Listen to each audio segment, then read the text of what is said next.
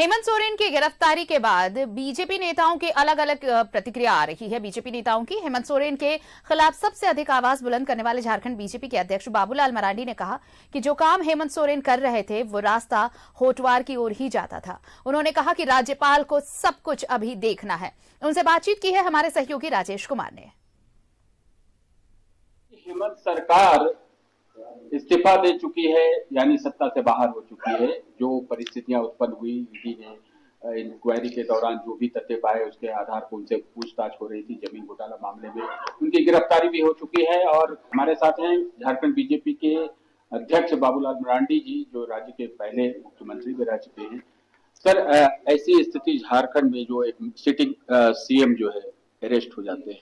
जब से राज्य में हेमंत सोरेन मुख्यमंत्री बने और उसी दिन से झारखंड में लूट मची हुई।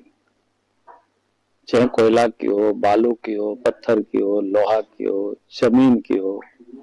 ज़मीन भी यहाँ तक कि सेना की ज़मीन को भी लोगों ने नहीं छोड़ा। तो जो व्यक्ति इतनी लूट में शामिल हो, लुटेरों को जो संरक्षण दे, और पिछले दिन आपने देखा होगा कि झारखंड में कई ठिकानों पर छापा मारा गया तो कई करोड़ों रुपया मिले। दो दो आई ऑफिसर जेल में भी बंद है, कई एक इंजीनियर भी जेल में बंद है, और कई एक ऑफिसरों के विरोध में मुकदमा हो, केस हो ईडी वालों ने लिख करके हेमंत सोरेन की सरकार को दिया, लेकिन आज तक उन्होंने केस फ़ाइल नहीं किया। तो आप समझ सकते हो कि लूट में पूरी तरह से वो शामिल रहे हैं। और जो व्यक्ति अगर लूट में शामिल रहेगा, चोरी करेगा तो फिर उसको जेल तो जाना ही पड़ेगा ईडी पकड़ेंगे उनको। सरकार तो है चेहरा बदल गया है। चंपई सोरेन का नाम आया है। राज्यपाल के पास लोग जाके इस्तीफा दे दिया और बता भी दिए कि इतने लोगों का समर्थन प्राप्त है। तो ठीक ठाक चलेगा, चलेगी सरकार? देखिए तो आने वाला समय बताएगा। अगर आने वाली सरकार भी ठीक से काम नहीं करेगी तो उनके भी यही असर होगी भाई, जनता चुनती है किसी भी सरकार को, इसलिए कि उनके लिए काम करे, ठीक से। अगर आप काम नहीं करोगे सिर्फ़ कमाने में ही लग जाओगे लूटने में ही लग जाओगे दलाल और बिचौलियों से गिर जाओगे सत्ता वो लोग चलाने लगेंगे। तो फिर सत्ता के जो दलाल और बिचौलिया और भ्रष्ट अफसर वही जेल नहीं जाएँगे सत्ता में बैठे हुए लोग भी जेल जाएँगे। ऐसा तो नहीं लगता कि कोई राष्ट्रपति शासन की सूरत बन रही हो?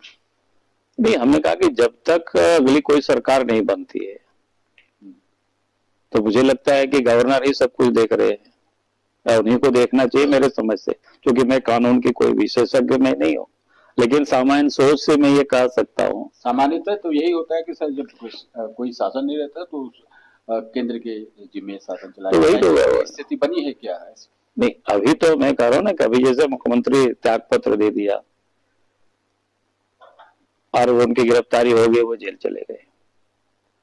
अब इसके बाद तो भयकम तो नहीं रहेगा ना तब तक तो वो महामहिम है राजपाल है वो देखेंगे। हमेशा से आरोप लगता रहा आपके विरोधियों के द्वारा झारखंड में खासतौर पर कि सारा कुछ पर्दे के पीछे से बीजेपी करती रही है। बोले हर चोर ऐसे ही बोलते हैं भाई।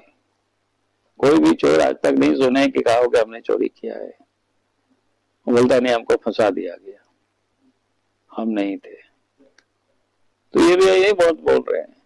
तो ये बाबूलाल मरांडी जी थे जिनका कहना था कि जो गलत करेगा, उसको तो सजा मिलनी ही है। आगे पीछे जो भी समय लगे मुख्यमंत्री के तौर पे हेमंत सोरेन ने जो किया बीजेपी की नज़र में वह गलत रहा और इसके खिलाफ आवाज़ भी उठाई जाती रही।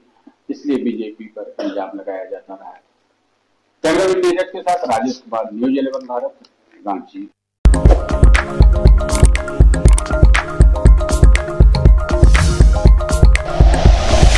Like and share videos, subscribe करें हमारा चैनल और प्रेस करें बेल आइकॉन न्यूज़ 11 भारत सच है तो दिखेगा।